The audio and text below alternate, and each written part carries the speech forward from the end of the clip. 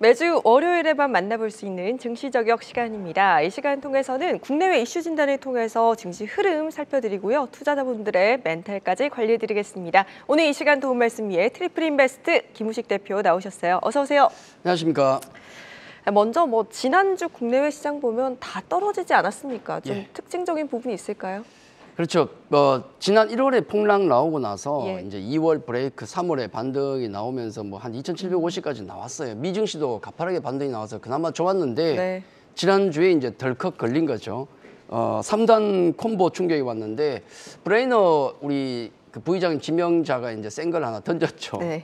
어, 금리 빅스텝과 자산 축소 언급하면서 쇼크가 왔고 거기다 이제 역시 FOMC 회의 의사록 뒤져보니까 거기도 강성 발언이 당연히 많겠고 예. 마지막으로 또 확인 사살 들어간 게 불러드 연은 총재는 심지어 내년 3.5 올해까지 3.5% 인상을 얘기하고 있습니다. 음. 그 얘기는 남은 FOMC 회의가 여섯 번인데 모두 빅스텝 네. 예, 50bp를 해야 가능하기 때문에 제일 센 게 나왔다라고 할 수 있겠죠. 해서 뭐 나스닥 지수 급락했고 당연히 성장주들이 힘들었겠죠. 반면에 이제 조금 무관한 헬스케어나 필수 소비재가 좋았는데 우리 증시는 그래도 미 증시에 비하면 오른 게 없으니까 네. 조금 덜 빠졌다라고 보시면 될 것 같고 반면에 이제 역시나 성장주들이 조금 힘든 모습을 보였는데 특히 이제 카카오라든지 네이버 이쪽이 조금 급락 나온 게 좀 아쉬웠고 네. 그다음에 테마주가 재밌게 좀 움직이는데 그런 약간 성장 테마주들이 다 무너지는 모습 여기 아쉬웠죠. 그리고 어, 지난주 이제 우리도 실적 시즌에 들어갔었는데 삼성전자, LG전자, LG 에너지 솔루션 실적이 나오는데 다 잘났습니다 실적은. 네. 근데 문제는 주가는 엇갈렸죠. LG 엔솔은 견고한 반면에 또 LG전자는 좀 급등이 나왔고 네. 근데 삼성전자가 상당히 신저가를 기록하면서 안 좋은 모습이 나왔다는 게 좀 아쉬웠다. 음. 네. 아마 삼성전자는 제가 뒤에서 잠깐 한 번 더 언급하겠습니다. 네, 알겠습니다. 이렇게 지난주 시장 간단하게 언급을 해봤는데 이번 주에 굉장히 일정들이 많습니다. 일정들 어떤 것들이 있는지 확인해 보도록 할게요. 일단 오늘입니다. 11일에 중국의 3월 소비자 물가, 생산자 물가 CPI, PPI가 발표가 되고요. 뉴욕 연은 총재 연설이 예정이 되어 있습니다. 12일에는 미국의 3월 소비자 물가 CPI가 나오고요.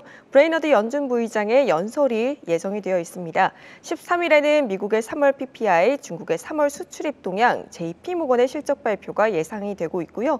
14일에는 미국의 3월 소매 판매, 4월 미시건대 소비자 신뢰 지수, 한은의 금통위, 22 통화 정책 회의, 또 한국 옵션 만기일까지 일정이 참 많습니다. 마지막으로 15일 북한의 태양절이고요. 미국 증시가 Good Friday로 증시가 휴장을 합니다. 또 한국의 포스코 오미크론 대응 발표가 예정이 되어 있습니다. 일정이 많은데 뭘 좀 짚어보면 좋을까요? 뭐가 이리 많은가요? 너무 많아요. 네, 머리 아파 죽겠는데 뭔 일정이 이리 많은지 예. 모르겠습니다. 중요한 건 이제 우리 금리 얘기 계속 나오니까 긴축이 문제니까 관련된 이슈가 제일 중요하겠죠. 네. 그래서 이제 뭐 경제 지표가 중요한 게 물가 지표 3월 CPI 다음 달에 이제 뭐 빅스텝을 밟을지 봐야 되지 않습니까? 음. 그걸 생각하면 아마 중요한 게 3월 CPI 8.4% 정도 상승을 예상하고 있는데 반응이 중요하겠죠 시장에. 예. 뭐 그런 거 뭐 그 정도 예상한 거 아니야 이렇게 볼지 아니면 또 한 번 놀랄지 한번 봐야 되겠고 음. 또 경기 개선 여부를 봐야 되니까 소매 판매도 중요합니다. 이것도 안에 들어가 있는 내용을 뜯어보는 게 중요하다. 네. 한0.5% 정도 증가하는 걸로 나오는데 이게 인플레 때문에 그런 건지 확인을 좀 해야 되겠고 그리고 이제 금통위 우리나라 금통위가 목요일 있습니다. 아, 지금 총재 자리가 비어 있죠. 예. 그럼에도 불구하고 지금 인상 쪽이 조금 우입니다. 그런 분위기고 또 22 통화 정책 회의는 아마 제로 어, 제로 금리 다시 동결 하는 걸로 나오는데 요 정책도 봐야 되겠고 또 특히 중요한 게 이제 JP 모간 실적 발표를 스타트로 미국 증시도 이제 실적 시즌에 들어간다는 거. 요게 굉장히 중요한데 아마 그 시장 전체로 볼 때는 1위 1비의 장이 될 것 같습니다. 이게 실적 장세의 특징이 되겠고 특히 이제 가장 중요한 것은 어, 이번 실적에 러시아 전쟁이나 그런 부분들이 다 반영이 조금씩 되고 있어요 이제부터. 그 부분이 들어가겠고. 그리고 특히나 경기 전망이 안 좋기 때문에 과연 실적 발표를 하는 이 기업들의 앞으로 실적 전망치가 어떠냐 이게 굉장히 중요합니다. 이거에 따라서 뉴욕 증시가 완전히 뭐 희비가 엇갈릴 수 있으니까 중요하겠고 그리고 이제 기타 우리가 봐야 될 것은 뭐 15일 북한 태양절이 있는데 어, 김일성 생일입니다. 제가 뭐 그거 기념일 챙길 일이 있겠습니까만은 혹시 도발 같은 게 있을까? 예. 예, 한번 체크해봐야 되겠고 그리고 미 연준 관련 인사들의 연설의 압박 굉장히 많습니다 이번 음. 그렇죠. 주에 굉장히 많은데 어, 다만 이제 지난 주에 우리 블러드 연은 총재가 한번 세게 질렀기 예. 때문에 영향력은 약하지만은 조금 더 챙겨봐야 되겠다 그렇게 말씀을 드리겠습니다. 네, 이렇게 이번 주에 주목해야 할 이슈들이 굉장히 많은데 그렇다면 오늘부터 시작되는 시장 어떻게 전망해 볼 수 있을까요?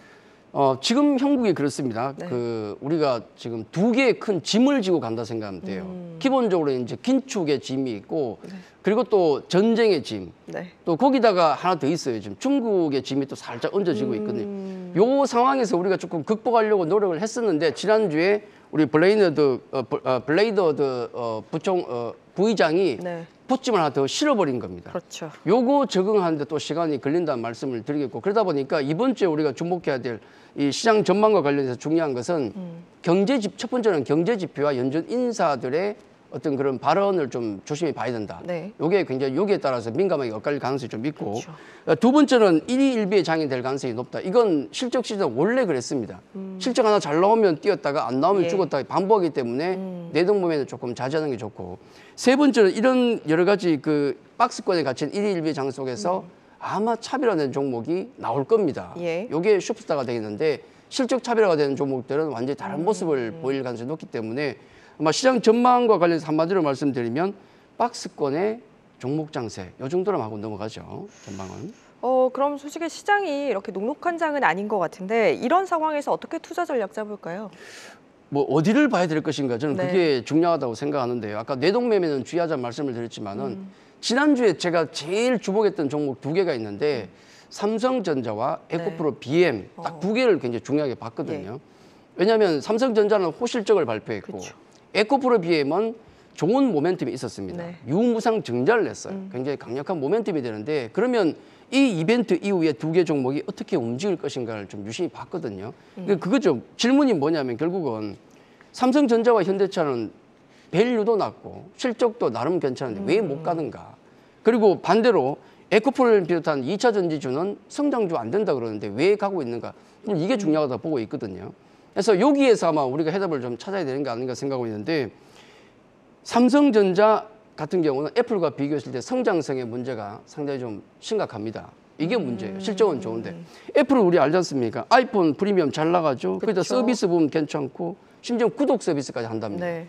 요건 아마 애플카를 염두에 둔 게 아닌가 하는 생각이 드는데 그것과 비교했을 때 삼성전자의 비전은 뭔가? 음. 이건 현대차와 테슬라도 마찬가지죠. 비교했을 때 과연 얼마만큼의 테슬라만큼의 현대차가 어떤 그런 모멘텀 비전이 있는가? 요게 예. 문제라고 저는 봅니다. 해서 어, 가치주 대표주로 할 수 있는 삼성전자와 현대차 이게 좀 부족하다. 반면에 이차 전지는 움직이기가 쉽지 않은 국면입니다. 왜냐하면 성장주가 힘들 수 있는 국면이기 때문에 그럼에도 불구하고 갔다는 것은 이 금리 인상기를 넘어설 정도의 강력한 성장 모멘텀을 가지고 있기 때문이다. 네. 그렇게 봐요. 그리고 이차 전지주 같은 경우는 그냥 성장 모멘텀만 있는 게 아니라 거기다가 실적이 되지 않습니까? 이게 그렇죠. 중요하거든요.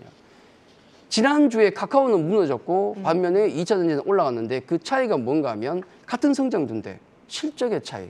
카카오 무너진 건 성장주이기도 하지만은 실적이 1, 4분기, 2, 4분기가 좀 슬로워해질 거라는 얘기가 전망이 나왔잖아요.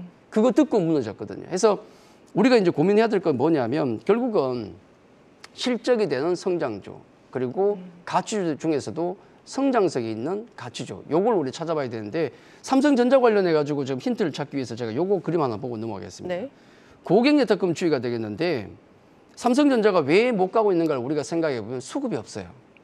외국인이 안 사고 있지 않습니까? 그럼 개인밖에 못 사는데 개인 수급을 대표하는 게 바로 고객예탁금인데 보시면은 2020년 전까지는 고객예탁금이 24조밖에 안 됐거든요. 예. 20조. 근데 그때 3, 20, 20년 3월 동학운동 뭐 동학개미운동 나올 때가 47조까지 늘었다가 피크는 작년 5월에 78조.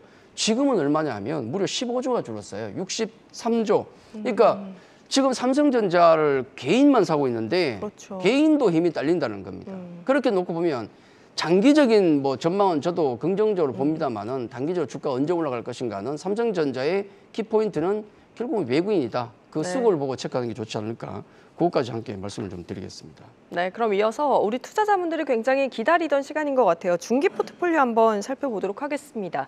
지난주와 달라진 부분들, 어, 의외로 지금 종목에는 변화가 없고요. 현금 비중에만 변화가 있네요. 그렇죠.